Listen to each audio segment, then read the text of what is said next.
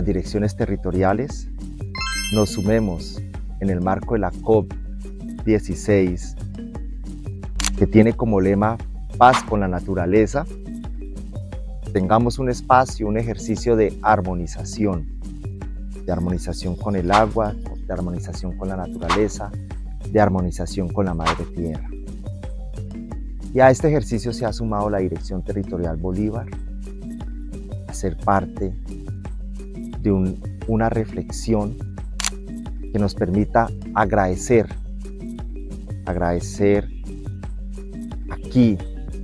desde el Cerro La Canzona, un territorio que fue afectado por el conflicto armado, la oportunidad que nos da de restablecer a las comunidades de la alta montaña y de los Montes de María.